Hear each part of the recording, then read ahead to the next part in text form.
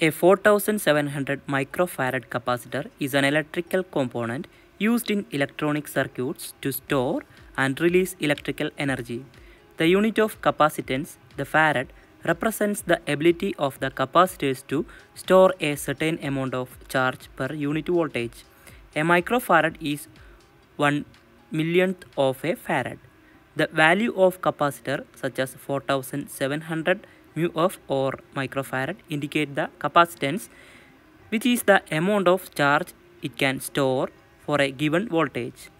In this case, a 4700 mu f capacitor can store a relatively large amount of charge compared to smaller capacitor, making it useful for application that require higher energy storage.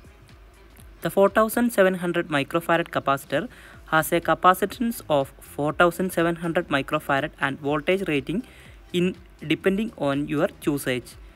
This type of capacitor can be used for various purposes in electronic circuit wherein specific characteristics are suitable. Here are some few common use of capacitor with this specification. One of power supply filtering. One common application of capacitor in electronic circuits is to smooth out the fluctuation in power supply voltage.